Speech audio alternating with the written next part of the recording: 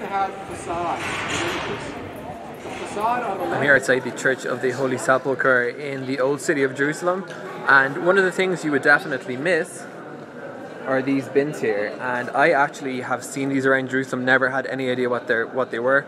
Um, Oren, who runs a great website called travelingisrael.com, did a great little short video about these, so I'm basically replicating his efforts. But uh, explain, these are actually bomb disposal bins, um, but they're all locked now. So basically, what these were was that during um, times of less certain security in Israel, they'd have these bins, and you can just kind of see how intensely uh, secure they are.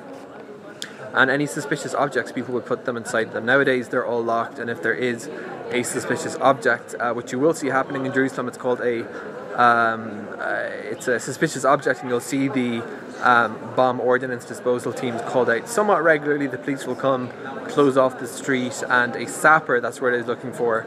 Uh, they use actually robots nowadays, so they'll send out a robot onto a bus. Sometimes somebody will leave their backpack on the bus uh, just because Jerusalem's such a suspicious place.